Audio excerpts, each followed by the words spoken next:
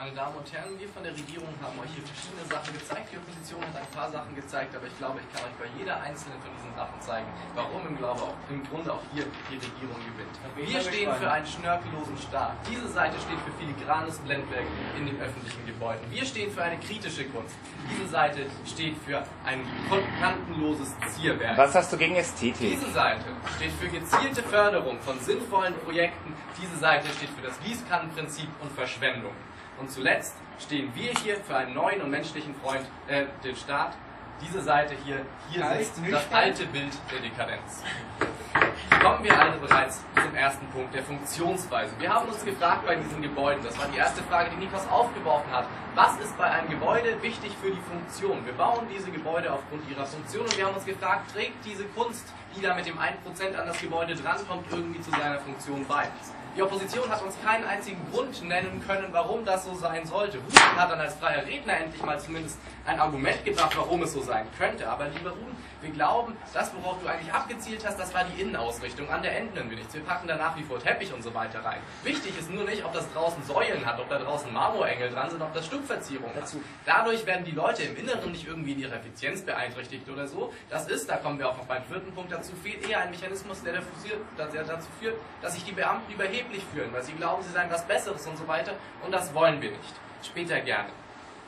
Und dann, Julian, hast du gesagt, du möchtest ja im Grunde, dass das Ganze ästhetischer wird. Und wir glauben aber, was dich wirklich an Mainz stört oder was dich wirklich an einer Stadt stört, das sind nicht diese Gebäude, das sind die Kleinigkeiten. Was mir wirklich wehtut, ist nicht, wenn ich ein hässliches Gebäude sehe. Was mir wehtut, ist, wenn ich in einer dreckigen Straße einen armen Obdachlosen sehe, der dort schlafen muss und Müll und sterben. Das ist der Punkt, wo wir das Geld sinnvoll einsetzen können. Das ist der Punkt, wo wir uns wirklich denken, diese Stadt gefällt mir nicht. Wenn Menschen darin leiden und wir glauben, an Dann anderer Stelle weniger sehr Eurofighter. viel sinnvoller eingesetzt. Eine Frage dazu. Ruben.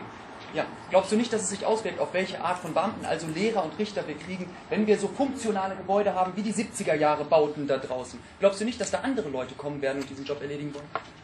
Also, wenn diese Richter tatsächlich nur deshalb Richter werden, weil sie sa- sagen, sie möchten in einer überlegenen Position sein, sie wollen besser sein als der Rest, dann bin ich verdammt nochmal froh, dass diese Leute nicht mehr kommen, weil ich nicht von denen verurteilt werden muss. Und ich hoffe, ihr seht das alle ähnlich. Aber da kommen wir zum zweiten Punkt, der kritischen Kunst und diesem kantenlosen Zierwerk. Die haben die ganze Zeit gesagt, die Kunst, ja, die ist ja wichtig. Wir haben auch gesagt, die Kunst ist wichtig, aber wir glauben, dass Kunst ein Ziel hat, nämlich das Ziel, einen kritischen Diskurs in der Gesellschaft anzustoßen, dass Kunst auf bestimmte Dinge aufmerksam macht. Jetzt müssen wir uns ja fragen, was steckt da dahinter, wenn man diese 1% vergibt? Wer vergibt die und an wen vergibt er die? Und da haben die überhaupt nichts zu gesagt. Warum haben sie nichts dazu gesagt? Ja, weil dann klar wäre, dass sie diesen Punkt verlieren. Konrad hat ganz klar gesagt, die Bauherren vergeben diese Sachen an bestimmte Künstler. Die Bauherren wollen aber weiter die Punkte von diesen Ausschreibungen bekommen. Und wie bekommt man diese Ausschreibung? Na, indem man nicht besonders auffällt, indem man es einerseits günstig macht und indem man andererseits dafür sorgt, dass das Oder indem man es schön Kritik macht. bekommt. Was bekommt denn negative Kritik? Na, im Zweifelsfalle kritische Kunst, weil da Kritik angeregt wird. Wofür bekommt man aber keine negative Kritik? Wofür bekommt man überhaupt keine Kritik? Na, für so ein paar Schnörkel. Die Und sorgen das nicht kann der irgendwie für Staat kritischen besser Diskurs oder entscheiden? dergleichen. Da glauben wir, macht es keinen Sinn. Das ist keine Kunst, die für uns gewissermaßen ein Ziel oder dergleichen hat. Das ist einfach nur äh, schnörkelhaftes Zierwerk, das wir nicht wirklich brauchen für die Funktionalität und auch nicht für den Diskurs. Der Diskurs wird angeregt, wenn wir beispielsweise sinnvoll kritische Projekte fördern. Wenn du dein Problem ist, dass die Leute Kunst allgemein nicht zugänglich haben, lieber Johannes, dann gib ihnen freien Museumseintritt, wo dann tatsächlich von Künstlern selbst geschaffene Werke ausgestellt werden. Die auf, unabhängig ist doch vom schon, Staat Lennart. entstanden sind. Warum soll die da Wenn es das so gibt, dann brauchen wir das andere doch auch nicht mehr, lieber Nikolaus. Lennart, bitte. Später vielleicht.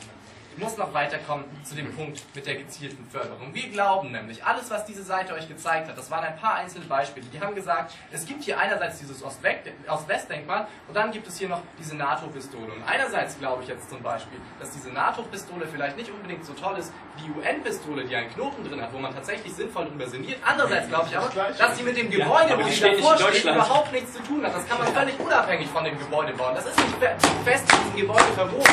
Und wir haben nie gesagt, dass wir Denkmäler abschaffen wollen. Das Holocaust-Mahnmal in Berlin zum Beispiel, da ist überhaupt kein Gebäude dran. Das hat man auch gefördert. Sowas wollen wir fördern. Das ist zielgerichtete. Förderin. Das hat einen Zweck, das sorgt dafür, dass es einen schon Sinn hat. Aber wir wissen nicht, warum das Schulgebäude jetzt einen marmornen Friebe auf dem Dach haben muss. Da sehen wir nicht, was das für einen kritischen Diskurs anregt. Da sehen wir nicht, wo der Sinn hinter dieser Statue ist. Da nehmen wir doch lieber ein Holocaust-Mahnmal in Berlin und dann vielleicht noch etwas Geld für Obdachlose, ein neues Obdachlosenhaus oder eine neue Schule. Das halten wir für wesentlich sinnvoller und irgendwie müssen wir entscheiden, wofür wir das Geld zielgerichtet Genau. Ausgeben. Deswegen gegen dieses Gießkannenprinzip und für eine zielgerichtete Förderung.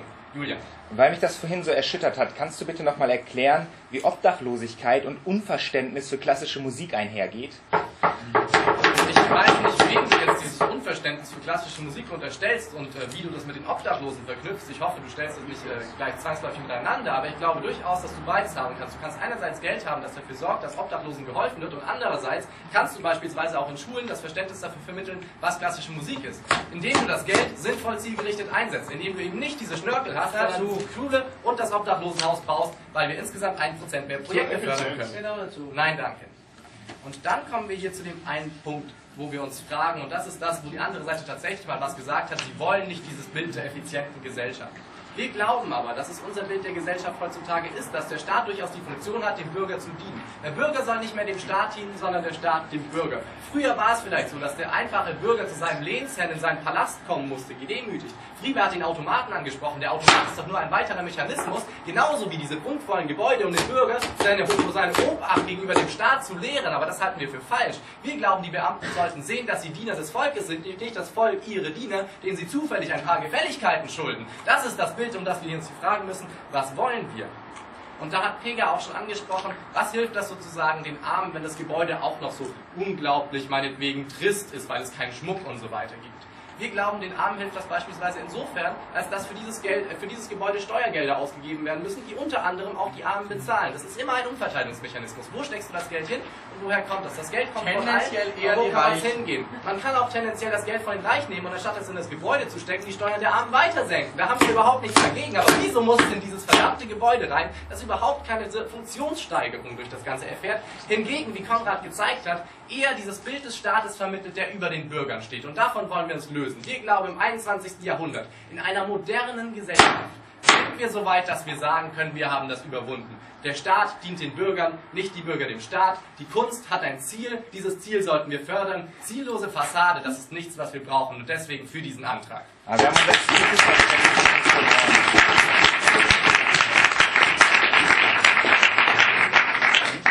Vielen Dank, Lennart. Vielen Dank euch allen für diese Debatte. Wir wünschen euch einen fröhlichen Mittag und ihr kriegt nachher irgendwann ein Ergebnis.